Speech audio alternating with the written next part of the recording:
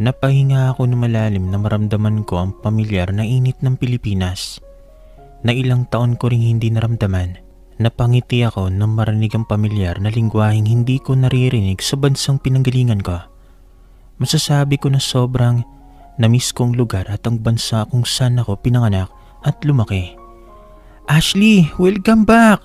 Sigaw ng pamilyar na boses na sa walong taon ay sa cellphone ko lang naririnig Kagad akong napalingon sa babaeng sumundo sa akin dito sa airport. Pati, masing sabi ko saka ako mabilis na tumakbo, papunta sa kanya. Mabilis ko siyang niyakap dahil miss na miss ko na talaga siya. High school pa kami nung huli ko siyang nakita. Noong nang ibang bansa ako ay hindi tumigil ang komunikasyon namin. Pero iba talaga sa personal.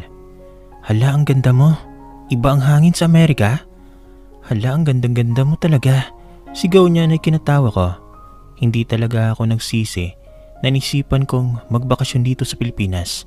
Matapos ang ilang taon na pagtira sa Amerika, bukod sa pagkain ay marami ako mga kaibigan na naiwan dito na hindi hindi mapapalitan kahit pa may mga kaibigan rin ako sa US.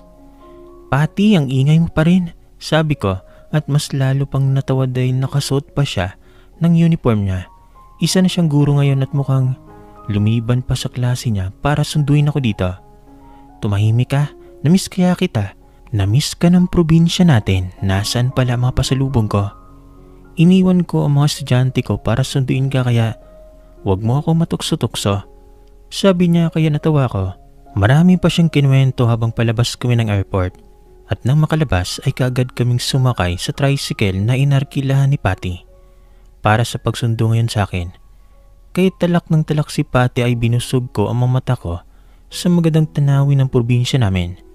Nakikita kong sarili ko noon na tumatakbo sa mga palayan dito. Malayo na nga talaga ang narating ko. Hindi na ako bata. Sa bahay niyo? Nalinis na ba iyon? Tanong ni Patty bigla kaya nagkibit balikat ako. Maglilinis ako, sabi ko. Sige tutulungan kita at sakto itong pagdating mo dahil may reunion ang school natin nung high school. Kasali ang batch natin kaya mabuti talaga tumuwi ka ikaw ang magbabayad ng tibol. Biro niya pa kaya mahina ko siyang tinulak. Ha? May reunion ba talaga? Nagdududang tanong ko kaya pinakita niya sa akin ang chat nila nang naging classmate rin namin noon. Ano, naniniwala ka na? Ay oo nga, pupunta rin si Bin panigurado. Ang first love mo. Ayi! Tukso niya ulit kaya bagya akong natigilan sa pangalan na binagit niya. Si Bin? Wala sa sariling tanong ko nang maalala ang una kong naging boyfriend. Magkaklase kami mula elementary at noong second year high school ay niligawan niya ako. Ang bata pa namin noon, sinagot ko siya matapos ang tatlong buwan na panliligaw. Naging kami hanggang senior high. Naghiwalay lang kami dahil dinala na ni Papa kami ni Mama sa Amerika dahil doon siya natatrabaho. Ako ang nakipaghiwalay dahil hindi ko naman kaya ang long distance relationship at ginagalang naman niya iyan. Sa limang taong nakalipas ay ngayon lang siya ulit sumagi sa isip ko dahil binanggit ni Patty. Hindi na kami nag-usap ni Vince, hindi nga kami friends sa Facebook eh. Umiiling na sabi ko, ay sayang. Engineer na yun ngayon, swerte mo. Big time na raw iyon sa Manila. Pero sigurong uuwi yun ngayon dahil sa reunion, sabi ni Patty kaya tinanguan ko na lang dahil wala naman na talaga akong pakialam kay Bin. Ang babata pa namin noon. Big time na rin naman ako ah. Ganti ko sa pabirong paraan kaya pareho kaming natawa at nag-usap na lang tungkol sa mabuhay namin. Ngayong ang tatanda na namin, hindi na kami mga dating estudyante na nangihingi pa ng pera sa mga magulang. Pagkarating namin sa bahay namin dito noon, ay bumalik ang napakaraming alaala sa isipan ko. Luma ng bahay dahil wala nang tumitira dito. Pero maayos pa rin naman Tinulungan ako ni Patty sa paglilinis pero makalipas na isang oras ay nagpaalam siya na umalis. Dahil may emergency meeting raw sila. Hindi naman nagtagal ay natapos na ako sa paglilinis. Kaya nakapagpahinga ako ng tuluyan. Gusto kong matulog pero ayaw ko muna. Kasi hindi pa ako tuluyang makapaniwala na nandito na talaga ako ngayon. Ilang taon kong plinano na umuwi pero hindi kasi ako makatiempo. Laking pasalamat ko dahil na-approve ang isang buwan kong bakasyon sana sa susunod kong uwi dito ay kasama ko na si mama at papa. Binusog ko ang mata ko sa pagtingin sa tanawing kitang kita mula dito sa bahay namin. Pero kalaunan ay hindi ko na natiis pang pagod ko. Kaya natulog ako. Gabi na nang magising ako at doon ko lang naisip na magbukas ng data ng cellphone ko. At kagad pumasok ang napakaraming notification. Lahat ay galing sa mga dati kong kaklase. Nalaman na nila na umuwi ako kaya nag-aaya ng gala. Ang iba ay may mga anak na, kaya ang aktibo naman nila parang mga binata at dalaga lang kung mag-aya na lalong nagpasaya sa akin. Miss na miss ko na ang lahat ng dito sa probinsya. Ang tagal ko ang nawala. Nakatulugan ko yan at pagising ko kinabukasan ay kagad ako naganda para mag-jogging. Di nakasanayan ko ng mag-ehersisyo sa Amerika. Pagkalabas ko ng bahay ay marami kagad ang bumati sa akin. At ramdam ko rin ang tuwa nila. Ashley, napakaganda mo na! Sabi nila na tinatawanan ko lang. Nagtuloy-tuloy ako sa pagtakbo at mas lalo pa akong ginaganahan dahil sa magagandang tanawin na nakikita. Puno ng palayan at ang presko ng hangin. Hindi malamig na siyang talagang hinahanap-hanap ko ng ilang taon. At dahil malapit lang ang bahay nila Pati, ay doon ako dumiretso. Dahil sabi nga niya kagabi ay dumalaw naman ako sa kanila. Ang aga mo naman? Inis na sabi niya na makita ako kaya tinawanan ko na lang. Sorry, hindi na ako sanay sa Filipino time. Sabi ko sabay pasok sa bahay nila. Nung nandito pa ako ay parati rin ako dito. Kaya ngayong nakita ko ulit ang nanay at tatay niya ay sobrang tuwa ko. Sa bahay na nila ako kumain ng agahan at nagkwentuhan pa kami bago ko umuwi sa bahay dahil Sabado nga at nagaya ang ibang kaklase namin nung high school na magkita-kita para daw mag-uusap sa parating na reunion ng school namin doon. Hindi ko ini-expect na may aabutan akong reunion at sa susunod na linggo na iyon, sulit nga talaga ang pag-uwi ko dito sa Pilipinas. Hindi masukat ang tuwa ko na makita kong muli ang mga muka na matagal ko nang hindi nakikita. Ashley! Sigaw ng mababae kaya kagad akong tumakbo para mayakap silang lahat. I miss you all. Malakas sabi ko habang niyakap sila isa-isa. Pero ilang sandali lang ay nag-ingay rin ang mga kasama naming lalaki. Pare, long time no see. Sabi nila kaya kuryoso kong nilingon ang kinausap nila. At iyon na lang ang gulat ko na makita ang napakapamilyar na muka. Kabababa niya lang sa isang itim na kotse at kaagad siyang sinalubong ng mga kaklase namin lalaki. Si Bin Abreco. First love ko kagaya ng sabi ni Patty. Ibang iba na siya. Halos hindi ko nakilala kagad. Tumangkad siya at pumuti. Parang ang taas na nga nang naabot niya. Hala, bigati na talaga, sabi ni Patty. Na nasa tabi ko kaya tinigil ko ang pagtitig kay Bin. Matalino naman talaga siya mula pa noon kaya hindi nakapagtatakang malayo ang nabot niya. Bin, si Ashley oh, kumustahin niyo naman ang isa't isa. Hirit ng kung sino kaya napaawa ang malabi ko. Saka napatingin kay Bin na ngayon ay nakatingin na rin sa akin. Hindi ko alam kung ngingiti ba ako o kakaway. Dahil tanging awkwardness lang talaga ang nararamdaman ko ngayon. Maayos naman ang paghihiwalay namin noon at hindi naman ako nahirapang mag-move on sa kanya. Nagkaroon ako ng mga kasintahan pero hindi nga lang kasing tagal nang naging relasyon namin. Hindi ko naman alam kung paano siya pakisamahan kaya talagang mahiya akong nararamdaman. Ano ba kayo? Mahinang sabi ko sabay ngiti ng tipid kay Bin at nag-iwas kagad ako ng tingin. Lahat naman sila ay sabay-sabay kumanta nang muling ibalik kaya hindi ko na talaga napigilan ng pagtawa. Hindi na ako ulit sumulyap pa kay Bin kasi nakakailang pinili ko na lang numupo sa isang cottage habang nagbibiruan ang mapiling dalaga at binata kong mga kasama kahit malapit na kasing lumampas sa kalendaryo. At tulad ng plano ay nag-usap-usap nga kami tungkol sa reunion. At habang nag-usap-usap kaming lahat ay paminsan-minsan akong sumusulyap kay Bin dahil hindi ko talaga maiwasan. Siguro dahil mahaba rin ang pinagsamahan namin at masasabi ko na isa siya sa mga taong pinagkakatiwalaan ko noon. At kilalang kilala ko pero hindi ko makaya na tignan siya ng matagal kasi palaging nagkakasalubong ang mata namin. Mas lalo na akong nahihiya kaya pinili ko na sumali na lang sa usapan para mawala na siya sa isip ko. Ilang oras kami nag-usap tungkol sa gaganapin na reunion hanggang sa nagpaalam si Bin dahil may gagawin pa raw siya.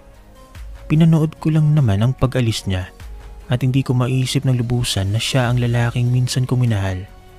Gwapo siya noon kaya ako nga nagustuhan. Pero mas lalo siyang gumwapo ngayon. May girlfriend na ba si Bin? Tanong ni Patty sa mga kalalakihan na mukhang close na close kay Bin magpasa hanggang ngayon. Wala, kakabreak niya lang. Sagot niyan. Nakaklase rin namin noon. Sabay ngisi sa akin kaya inirapan ko. Why are you looking at me? Inis na tanong ko kaya nagtawanan silang lahat. Naubos ang oras na iyon sa pagtatawanan at dala ko ang saya hanggang sa umuwi ako. Pero nang makaupo ako sa malambot naming sopa, ay biglang lumitaw sa isip ko ang itsura ni Bin. Sa ilang taon ay hindi ko na talaga siya naisip.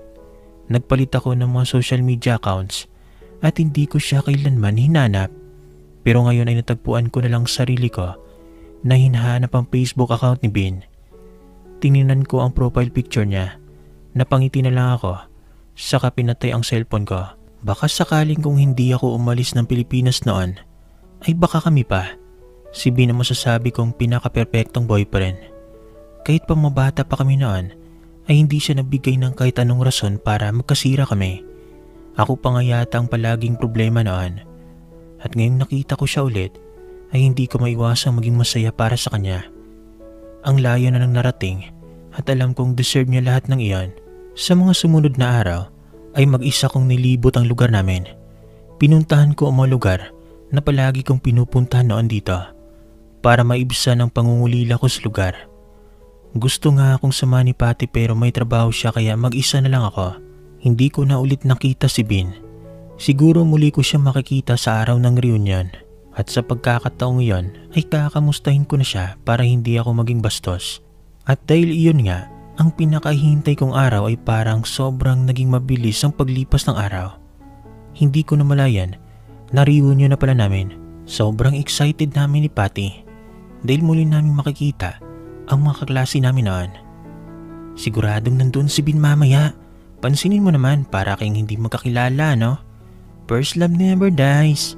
Pagbibiro niya, nakagad kong sinamaan ng tingin. Nahihiya lang ako.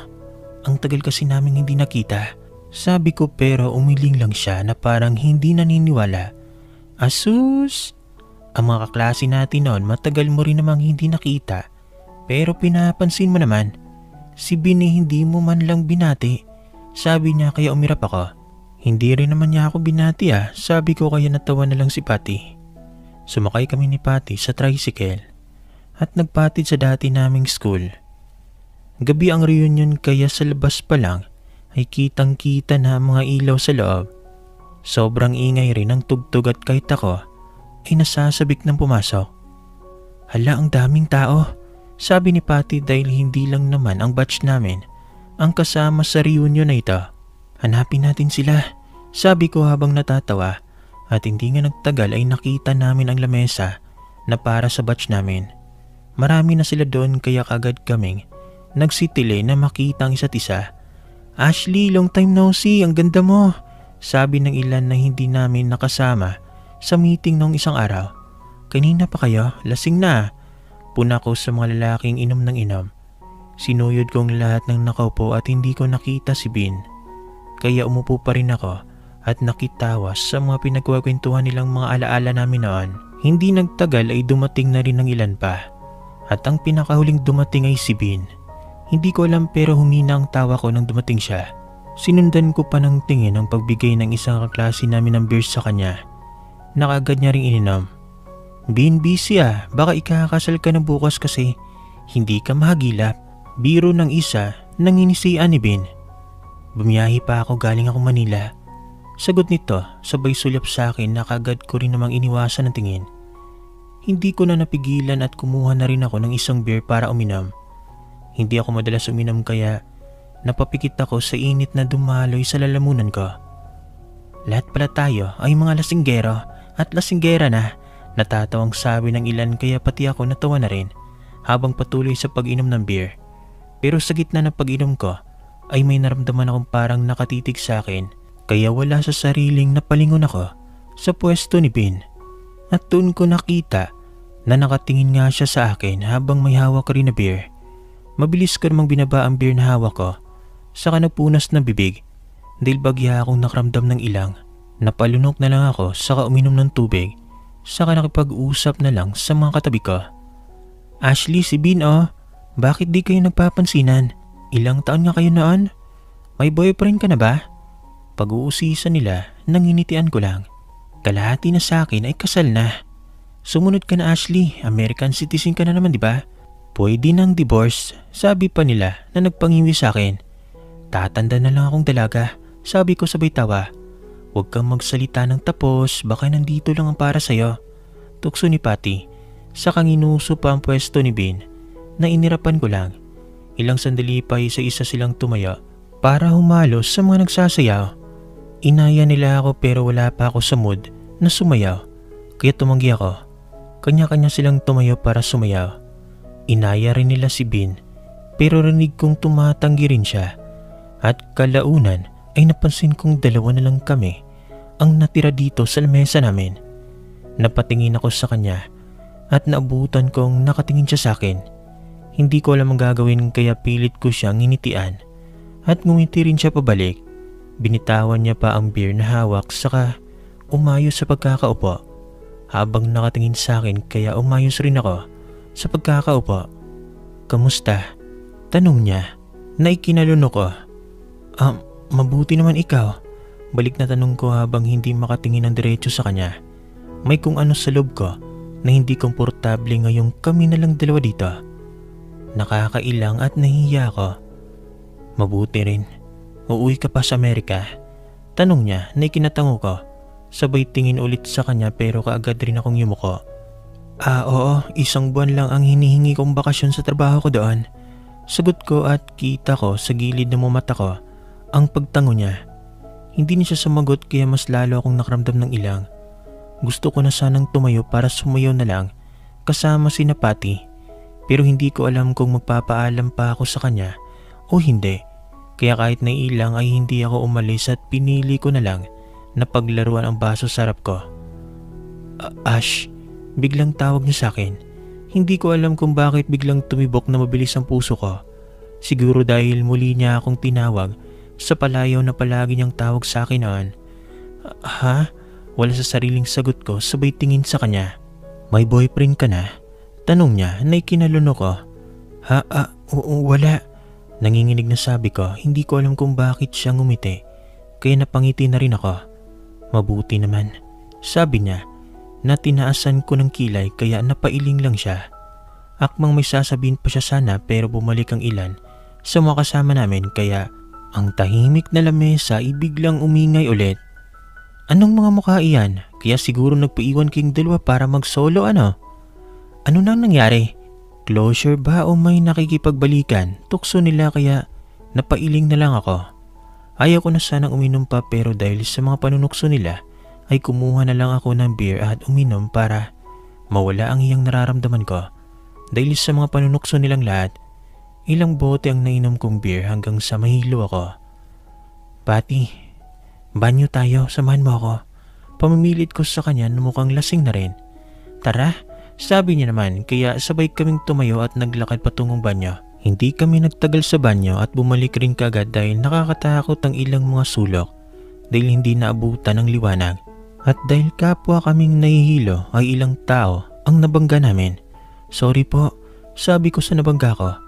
Nalalabo ang mata ko at sa kay kalawang pagkakataon ay may nabangga ulit ako.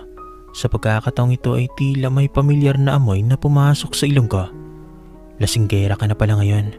Bulong ng pamilyar na boses kaya Inaninag ko kung sino iyon at nang makita ko ang mukha ni Bin ay bagya akong natawa. Ikaw rin naman, sabi ko habang nakangisi. Lasing ka na hati na kita. Sabi pa niya sabay lahat sa akin ng isang basong tubig. Nakagad ko rin namang ininom. At dahil doon ay bagya akong nimasmasan. Kaya napatingin ako kay Pat na muli na namang umiinom. Mamaya na, sabi ko saka umupo ulit sa inuupuan ko kanina.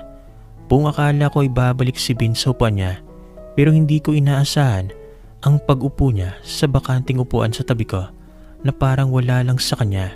Ngumisi naman ang mga nakapansin pero hindi ko na pinuna iyon dahil nakipag-usap naman si Bin sa mga lalaki habang nagiinuman sila. Kami namang mga babae ay may sarili ring topic at hindi ko may tatanggi ng lamesa namin ang pinakamaingay sa lahat ng nandito. Ash, pahawak. Biglang sabi ni Bin sabay bigay sa akin ng wallet niya. Kaya kumunot naman ang noko. Ha? Bakit ako? Tanong ko pero tumayo na silang mga lalaki at mukhang lalabas. Sinundan ko si Bin ng tingin hanggang sa mawala sila sa paningin ko dahil sa dilim. Tumikim naman ang mga kasama ko kaya napalunok ako. Iba na to. Muling ibalik nga talaga. Sabi nila na hindi ko na lang pinansin. Napatingin na lang ako sa wallet ni Ben na hawak-hawak ko. Hindi ko alam kung bakit ganito na siya makaasta ngayon. Gayong kanina lang ay kapwa naming hindi alam ang sasabihin sa isa't isa. Napalunok ako sa kabagyang napahawak sa puso kong biglang tumibok ng sobrang lakas. Hindi ako makapaniwala na sa ilang oras lang ay parang wala na siyang ilang na nararamdaman sa akin. Pero baka ako talaga ang problema. Dapat wala na akong ilang. Dapat magkaibigan na kami. Dapat hindi ko na idamay ang mga nangyari noon. Dapat hindi na ako nahiya sa kanya. Hindi ko alam kung ano ang pumasok sa isipan ko at dahan-dahan kong binuksan ang wallet niya. Tuluyan ko nang nakalimutan ang mga masasayang pinag-uusapan namin ngayon dito. Natuon ang buong kong pansin sa wallet na hawak ko at biglang tumigil ang mundo ko nang makita ang litratong bumungad sa akin. Litrato naming dalawa iyon nung high school. Hindi ako pwedeng magkamali. Hindi pwedeng namamalikmata lang ako. Di ilang ulit akong kumurap para masigurado ang nakikita. At tama nga ako dahil ang litratong iyon ay nakahalik siya sa pisngi ko habang ako naman ay malaki ang ngiti na nakatingin sa kamera. Halo-halong emosyon ang nabuhay sa loob ko dahil sa litratong iyon. Hindi ko alam pero sobra akong napektuhan at malaking parte ang tila naplo sa puso ko. Ilang sandali pa ay napapikit ako sa kasinara ko na ang wallet ni Ben na hawak ko at iyon naman ang pagbalik ng ilang kalalakihan. San kayo pumunta? Lasing na tanong ni Patty sa mga lalaki. Sigarilyo, sagot nila kaya napatingin ako kay Bin. Mas lalo na akong nailang dahil sa litratong nakita ko sa wallet. Hindi ko maiwasang tanungin ng sarili ko kung ano ang posibleng dahilan na kung bakit nandoon ang litratong yon sa wallet niya. Pagtingin ko sa kanya ay nakatingin na rin siya sa akin. Ngumiti ako ng pilit sa kawalang kahit anong sinasabi kong nilahad ang wallet niya sa kanya. Nakagad niya rin kinuha. Pagkatapos nun ay nakinig na ako sa mga usapan nila. Nakakatawa ang mga pinag-uusapan nila pero hindi ko magawang makitawa. May bumabagabag sa isip ko dahil sa litratong iyon. Walong taon na pero bakit nandoon pa rin sa kanya ang litratong yon? May ibig sabihin ba yon? Patuloy silang nagbibiruan at hindi na talaga ako makasabay kaya pinili ko na lang na tumahimik. Ilang sandali ay may mga umuwi na kaya hinila ko na patayo si Patty. Nalasing na lasing na para umuwi na rin kami. Patty, umuwi na tayo. Tama na yan. Inis na bulong ko sa kanya dahil parang wala pa siyang plano na umuwi kahit hating gabi na. Ash, hatid ko na kayo. Biglang sabi ni Bin at siya nang umalalay kay Patty na wala na sa katinoan. Hindi na, tanggi ko nang hindi makatingin ng diretso sa kanya. Pero inalalayan niya na si Patty palabas kaya wala na akong magawa kundi sumunod. Pagkalabas namin ay kaagad niyang pinasok si Patty. Sasakyan niya kaya pikit mata na lang akong pumasok rin dahil hindi ko naman pwedeng iwan si Patty.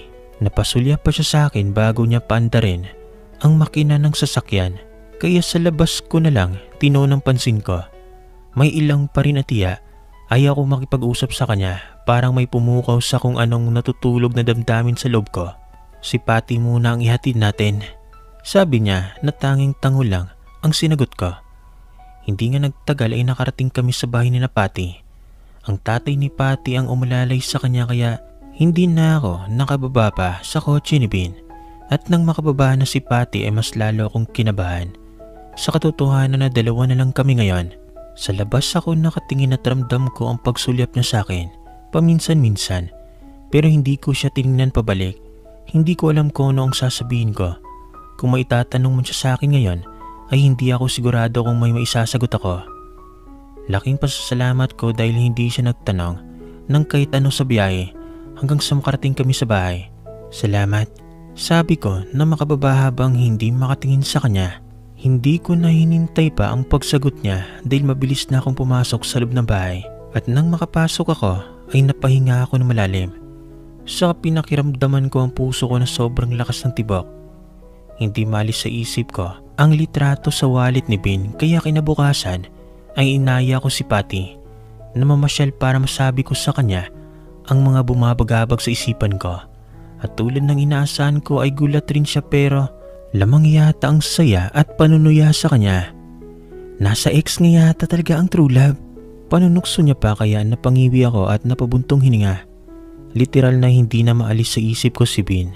Mas lalong lumala dahil sa litratong nakita ko kagabi. Ang ganda naman ng timing, sinakto pa na nandito ako sa Pilipinas. Pero, speaking of your ex na may picture niyo sa wallet niya, may kasamang iba Biglang sabi ni Patty sa kabagyang inuso ang pinto ng kainan kung nasaan kami ngayon kaya mabilis naman akong tumingin doon at nanlaki ang mata ko na makita si Bin na may kasamang babae na hindi pamilyar sa akin.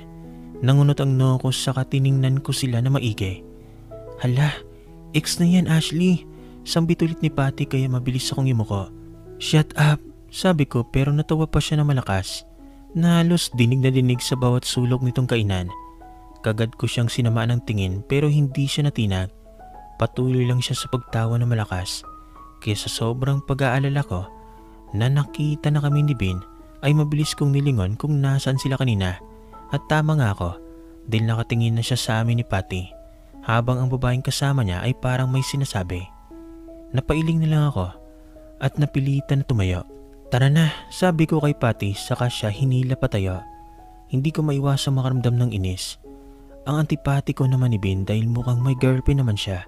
Pero nasa wallet niya pa rin ang picture naming dalawa. Selos ka ba? Balik ka na lang sa Amerika at maghanap ng apam. Sabi ni Patty at halos gusto ko siyang sampalin dahil sinabi niya iyon nang duman kami sarap ni Labin at mukhang sinadya niya pa dahil tawa siya ng tawa nang makalabas kami. Ang sarap mong suntukin. Inis na sabi ko kay Patty na nangaasar pa gusto mo ng teacher, ang daming single na teacher sa school namin. Ilalakad kita. Mukhang hindi ikaw yung ex na true love ni Bin eh. Dagdag pa niya kaya inirapan ko na sa mabilis na pumara ng tricycle. Hindi natigil sa pangasar si Patty hanggang sa makauwi kami kaya hanggang sa sumapit ang gabi ay masama ang loob ko. Parang gusto ko na tuloy talagang bumalik sa US.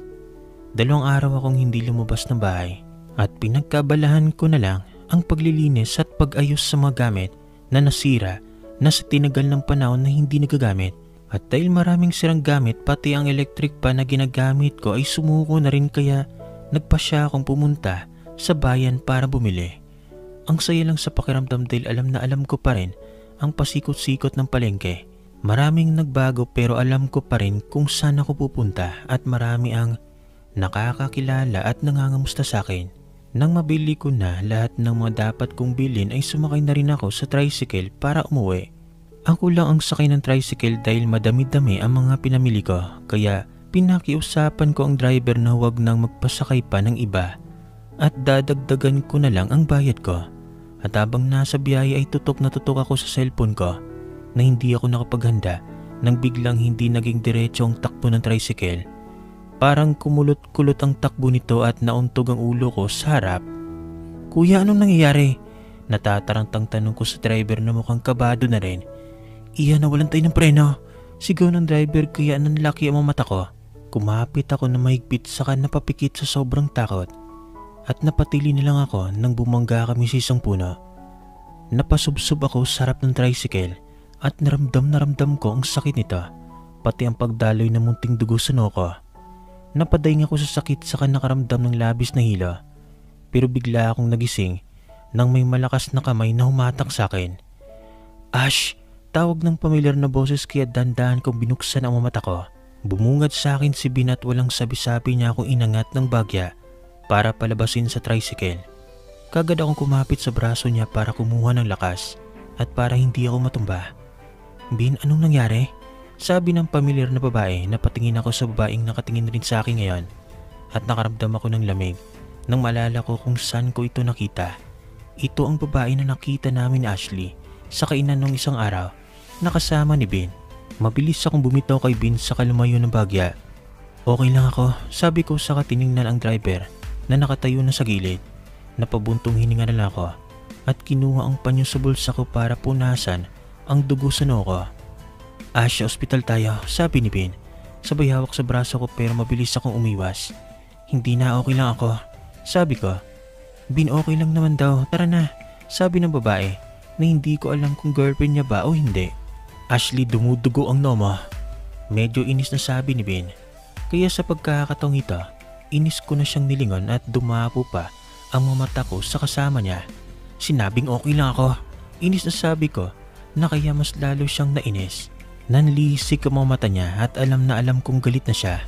Ang kulit mo, inis na sabi niya. Ang kulit mo rin, sigaw ko. Hindi ko na mapigilan ang galit ko dahil sa pangungulit niya. Ayaw kong sumama sa kanya at sa girlfriend niya kung sino man yon.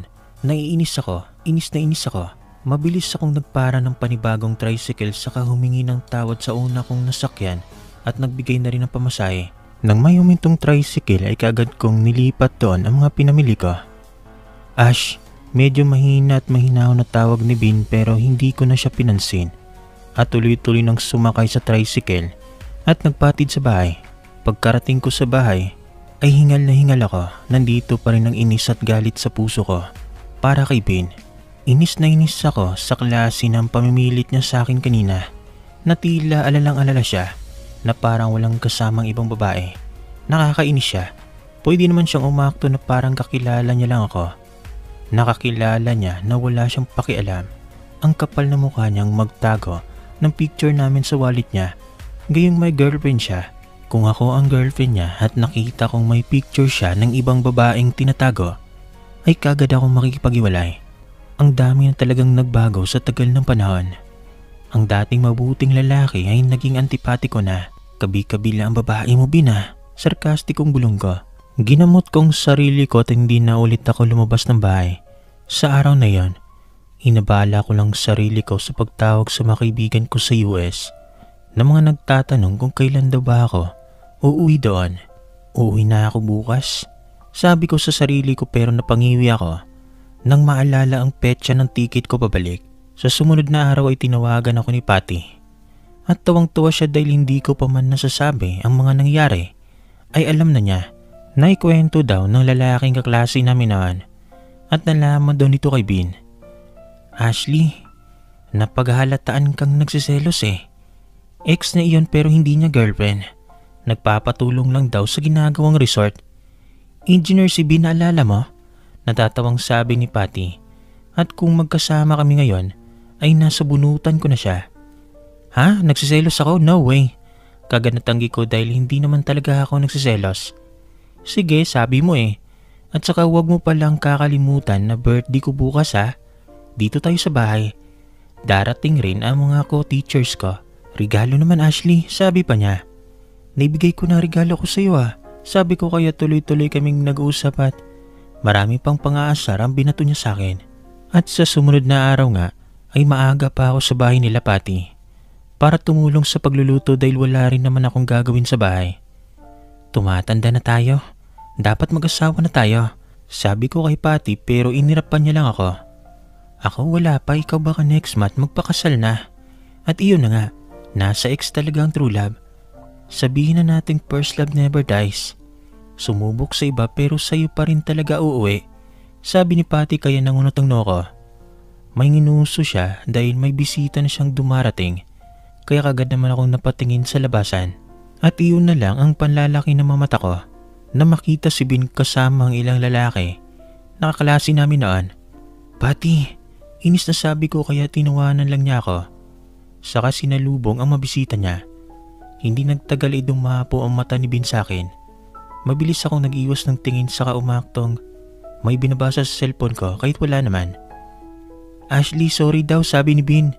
Dinig kong sabi ng kaklase namin dati kaya hindi makapaniwalang napatingin ako sa kanila.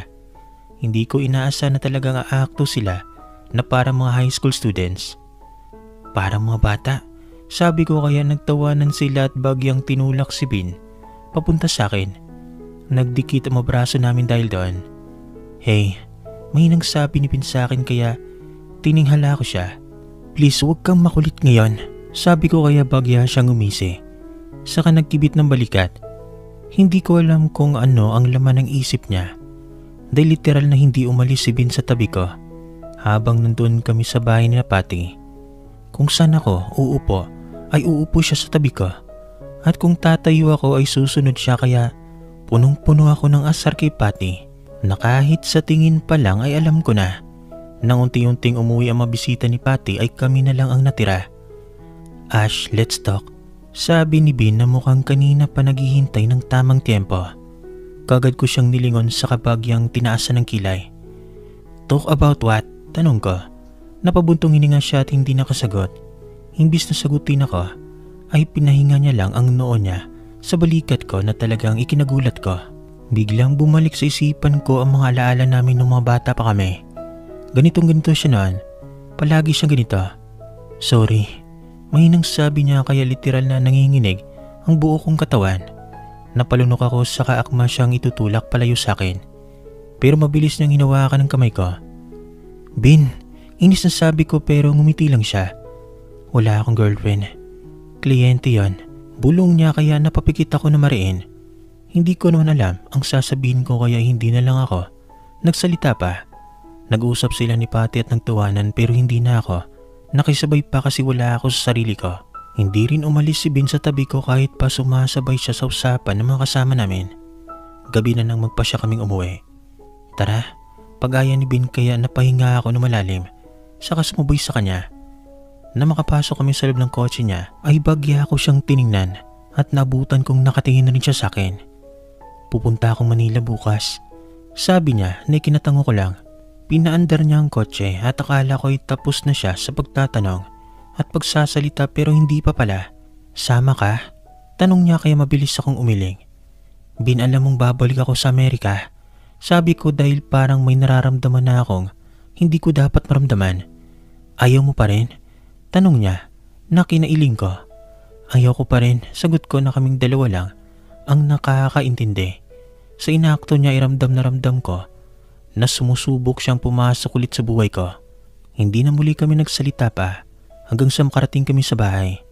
Isang simpleng pasasalamat lang ang sinabi ko at kaagad na akong pumasok ng dire-diretso.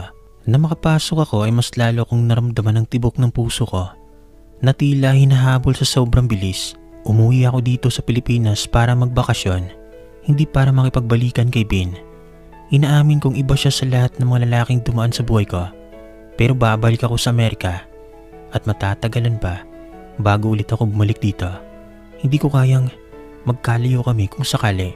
Kaya hanggat kaya ko ay iiwasan ko siya. Makalipas ang isang linggo ay nalulungkot na ako dahil malapit na akong bumalik sa Amerika hindi ko na ulit pa nakita si Bin pagkatapos ng huling pag-uusap namin ng birthday ni Patty. Hula ko ay nasa Manila pa siya dahil dinig ko ay doon siya nagtatrabaho at doon na rin naninirahan ang mga magulang niya. Mas mabuti nga para hindi ko na siya makita kapag bumalik ako. Dahil baka kung anong natutulog na damdamin na naman ang buhayin niya sa akin. Mas mabuti na ito para wala na kaming panghawakan sa isa't isa. Dahil ganoon naman talaga at dahil malapit na akong bumalik ay panay ang pasyal ko kahit ako lang mag-isa. Tiningnan at kanibisado ko ang bawat sulok ng probinsya para kapag umuwi ulit ako dito sa susunod ay maalala ko lahat. Ashley, mabilis akong napalingon sa tumawag sa akin ngayon.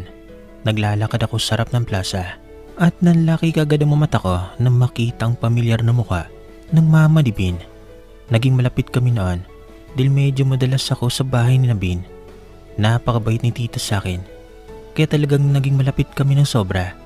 Tita, gulat na sambit ko. Kailan ka umuwi? Hindi sinabi ni Bin na nandito ka. Kanina lang kami dumating ng tito mo dito. Hindi ka na ba babalik sa ibang bansa? Nagkita na ba kayo ni Bin? Sunod-sunod na tanong niya sa akin kaya ilaw ako ngumiti. Nakita na po kami ni Bin at uuwi na po ako sa susunod na linggo tita. Mahinang sagot ko. Ano? Halika at pumunta ka muna sa bahay, ipagluluto kita ng masarap. Si Bin talaga, hindi niya man lang nabanggit na nandito ka. Tara na Ashley, mabilis na sabi ni tita. At hindi na ako nakatanggi pa, nangilahin niya ako pasakay sa tricycle. Titita, Hindi ko ulit natapos ang gusto kong sabihin dahil sunod-sunod ang pagsasalita niya. Ang ganda-ganda mo na, ang mama at papa mo, kamusta? Bakit ka pa babalik doon? Ayaw mo ba magtrabaho dito? Sabihan mo si Bin at baka may trabahong bakante. Sa pinagtatrabuan niya, sabi niya at nagawa ko na lang ay ngumiti. Hindi na ako nakasingit pa dahil parang ang dami-dami niyang ikukwento sa bahay kaya hindi ko namalayan na nasa tapat na kami ng bahay nila. Hindi ako sigurado kung nandito si Bin pero sana wala. Tara Ashley, gusto ka na rin makita ng tito mo panigurado. Ang tagal mong nawala. Mabuti at nagbakasyon ka dito, mas ang sabi ni tita. Sa kanilalayan pa talaga niya akong pumasok sa bahay nila na triple ng laki kumpara noon. Pagkapasok namin ay kagad kong nakita ang papa ni Bin sa sala. Kagad itong napalingon sa amin at nang makita niya ako ay napangiti siya na malaki. Ashley, ikaw na ba iyan? Ang laki mo na. Akalain mo nga naman, ang tagal mo ring nawala. Ang babata niyo pa noon nung dinadala ka ni Bin dito. Masing sabi ni Tito kaya ngumiti na lang ako. Darating na si Bin mamaya dito Ashley. Magkaibigan naman siguro kayo no? Mas mabuti sana kung higit pa doon dahil ikaw lang talaga ang gusto kong makatuluyan ng anak namin. Sabi ni tita kaya napangiwi ako at ilang sandali pa ay sabay-sabay naming narinig ang paghinto ng sasakyan sa labas. At mukhang alam ko na kagad kung sino yan. At hindi nga ako nagkamali dahil ilang minuto lang ay pumasok si Bin. Nagulat na gulat rin na makita ako. Ash, gulat na sabi ni Bin sabay tingin sandali sa mama at papa niya. Bin, nakita ko si Ashley sa tapat ng plaza. Matagal-tagal na pala siyang nakauwi dito, dapat ay sinabi mo sa amin. Sabi ni tita kaya napailing na lang si Bin. Ash, sorry, pinilit ka ba nila? Tanong sa akin ni Bin at binaliwala na ang sinabi ng mama niya. Mabilis akong umiling pero mabilis niyang hinawakan ang braso ko. Para hilahin ako Papunta sa kanya kaya napalayo ako ng bagya sa mama at papa niya na nasa gilid ko lang kanina. No, sagot ko naman sabay iling na maraming beses kaya napabuntong hininga si Bin. Si Titan man ay natawa na lang rin sa inasal ni Bin. Huwag mo kaming gawing masama Bin. Teka magluluto muna ako para makakain itong si Ashley. Iya, magkwentuhan tayo mamaya. Sabi ni tita saka pumasok na sa kusina nila. Sumunod naman si tito dito kaya naiwan kami ni Ben. Ash, mahina at tila nag-iingat niyang tawag sa akin kaya mabilis ko siyang tiningnan sa mga mata. Okay lang, sabi ko, saka umupo sa sopa nila. Napabuntong hininga naman siya saka tumabi sa akin. Kaya bagya akong lumayo at kitang kita niya. Ang ginawa ko kaya pumungay ang mga mata niya.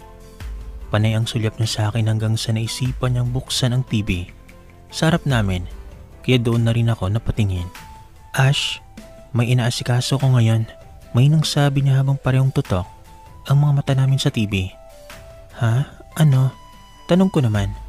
Kailan ka babalik ng Amerika? Balik niyang tanong imbis na sagutin ang tanong ko. Next week. Sagot ko naman. Next week? Sabi niya sakat tumungo-tango. Hindi ko na lang namalayan na napapatagal na ang pag-uusap namin. Naputol ang pag-uusap namin na bumalik si tita sa sala para iyain kaming kumain kaya kahit nahihiya, ay sumunod ako sa loob ng kusina nila. Ashley, nagluto ako ng mga paborito mo noon. Paborito mo pa rin ba ang mga ito ngayon? Masayang tanong niya. Oo naman tita, sabi ko. Sabay upo. Si Binang kusang naglagay ng pagkain sa plato ko kaya bagya akong humawak sa palapulsuan niya para pigilan siya dahil napaparami ang mga nilalagay niya. Huminto naman siya dahil sa ginawa sa ka. Nakangisi akong tiningnan na hindi ko na pinansin dahil tinanong na ako ng napakarami ng mama at papa niya. Narespetado at masaya ako namang sinagot dahil sa pag-uusap namin ay natagalan kami sa pagkain. Pero aaminin ko na ibang saya ang dulot nito sa akin. Hindi na iba sa akin ang mamagulang ni Bin. Lalo na at pinakilala niya ako dito noon pa man at maganda talaga ang pakikitungo nila sa akin. Kit pa sobrang bata namin noon ni Bin para pumasok sa relasyon. Halos sa ayaw nila akong tantanan. Lalo na ni tita na hindi yata maubos sa mga tanong at kwento sa akin. Babalik ka na ba talaga sa susunod na linggo iya? Kailan na naman kaya tayo magkikita ulit? Malungkot na sabi ni tita kaya ngumiti na lang ako. Nang marahan. Mukhang matatagalan pa po ang susunod na bakasyon ko tita. Sabi ko sabay lingon kay Ben na nakatitig sa akin. Ito ang dahilan kung bakit ayaw kong pumasok sa isang relasyon. Kung hindi kami magkasama, hindi mapapanatag ang puso ko. Kung baka sakaling hindi ko makita ang boyfriend ko. Hindi man maganda pakinggan at masyado mang desperada pero kung hindi lang ako aalis dito sa Pilipinas, ay hindi ako magdadalawang isip na makipagbalikan kay Ben. Sa sumunod na araw ay muli akong pinilit ni tita na dumalaw sa bahay nila dahil gusto niya raw sulitin habang nandito pa ako. Hindi naman ako makatanggi dahil gusto ko rin naman makausap pa si tita tito. Kaya kinabukasan ay pumunta ako noon pagkatapos kong magagahan. Ashley halika excited na sabi ni tita na makita ko kaya nakangiti naman akong pumasok sa loob. At sa pagpasok ko ay bigla akong namataan si Bin na inaantok na naglalakad pababa sa hagdanan at wala siyang damit pang itaas at mukhang nakita niya ako kaya tila nawala lahat ng antok na nararamdaman niya. Ash, hindi makapaniwalang sagot niya. Saka mas minadali ang pagbaba. Bin, magsuot ka nga ng damit. Halatang sabik na sabik ka. Inis na sabi ni tita dito pero hindi siya sinagot ni Bin. Hay, nahiyang sabi ko kaya Umiling na lang si Bin at tumawa na bagya. Isang buong araw akong nanatili doon. At nalibang naman kaming pareho ni tita. Pero hindi ko na rin maiwasan na mapalapit ng bagya kay Bin. Dahil literal na hindi siya umalis man lang habang nandun ako. At nang gumabi, ay siya na mismo nag-alok sa akin. Naihatid ako dahil lumalalim ng gabi. Ash, tara na. Sabi niya bago ako inalalayan papasok sa loob ng kotse niya. Salamat. Sabi ko sabay ngiti sa kanya kaya napangiti rin siya. Next week ka babalik? Tanong niya na kinatango ko. May binulong siya sa sarili niya na hindi ko na narinig kaya pinaningkitan ko siya ng mamata. Pero umiling lang siya at tumawa na mahina. Kaya napangiwi na lang ako. Hindi nagtagal ay nakarating na kami sa bahay. Kagad akong bumaba at hindi ko alam kung bakit bumaba rin siya. Ashley, natin to please. Palambing na sabi niya saka inisang hakbang niya ang pagitan namin. Nanlaki na lang ang mamata ko nang lumapat ang malambot na labi niya sa mga labi ko na siyang naging dahilan para magwala ang puso ko. Bin, may nagbulong ko matapos ang halik kaya napapikit siya na mariin. Miss na miss na miss kita, iba ka sa lahat. Malambing na bulong niya at gusto kong umiyak dahil ang mga katagang iyon din ang gusto kong sabihin sa kanya. Muling nabuhay ang puso ko at hindi naman siguro mali kung hayaan ko muna itong tumibok dahil inaamin kong ibang iba si Bin. Ibang iba siya. Sa sumunod na araw ay sinundo niya ako ng sobrang aga. Akala ko pupunta kami sa bahay nila pero pinasyal niya ako sa kabilang bayan. Kami lang dalawa at hindi masukat ang tuwa ko ngayon. Hinayaan kong sarili kong sumaya. Kasama siya. Hindi natapos ng isang araw ang pamamasyal namin. At nasundan pa na nasundan. Hanggang sa araw-araw na kaming magkasama.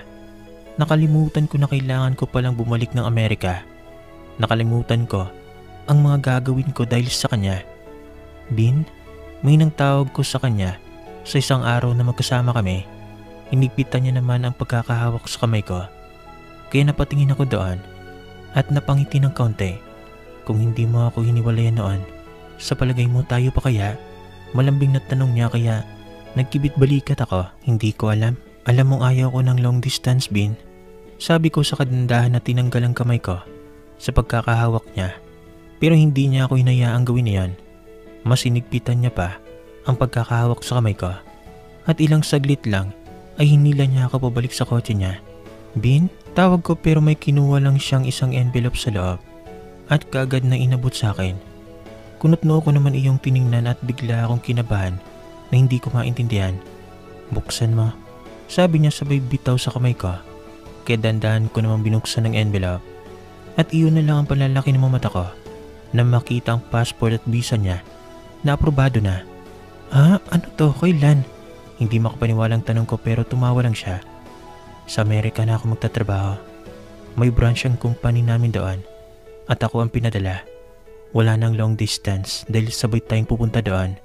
Malambing na sabi niya sa kaya ko, hinapit palapit sa kanya. Hindi pa rin ako makapaniwala at nang tuluyang maproseso sa utak ko ay napatalon ako sa tuwa sa kamaigpit na yumakap sa kanya.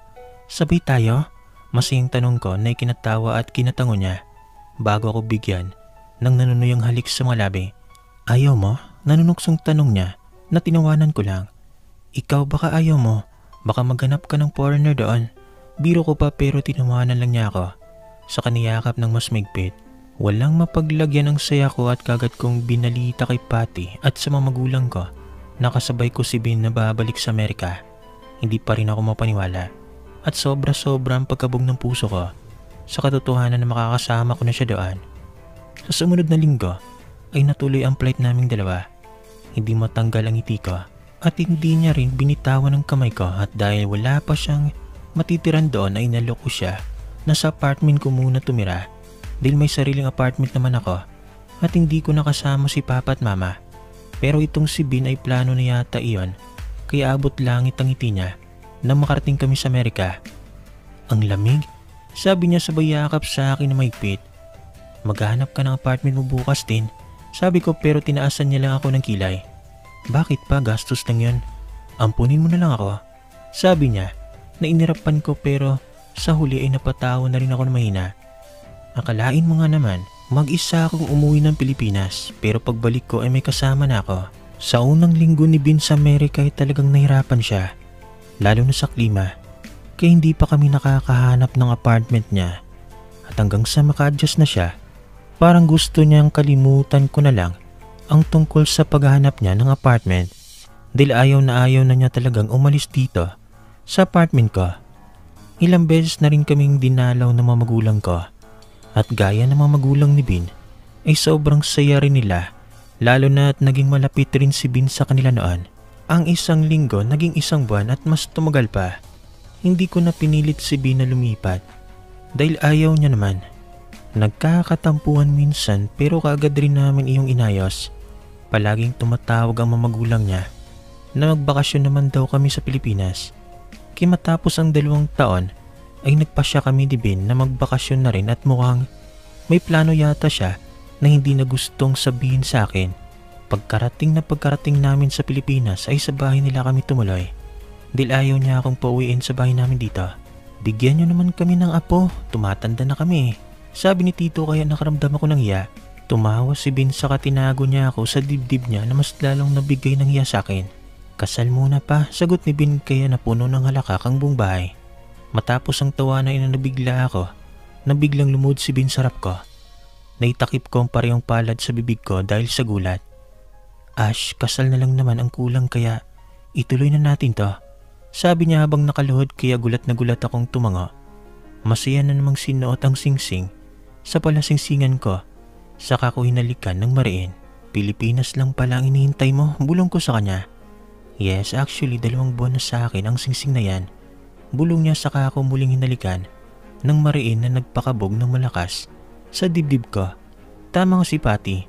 First love never dies. Nakakita man ako ng ibang lalaki pero nanatili si Bin sa puso ko.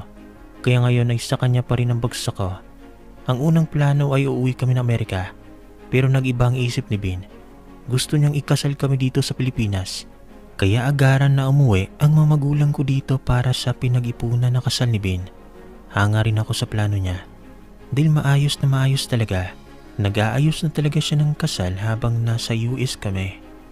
Ang kampante niya, napapayag ako. Pero ano pa nga bang magagawa ko? Mahal ko naman kaya hindi na dapat naming patagalin ito. Matapos ang isang buwan na paghahanda, ay kinasal kami sa Pilipinas. Wala nang masasaya pa sa araw na pinakasalan ko ang lalaking una at uli kong mamahalin.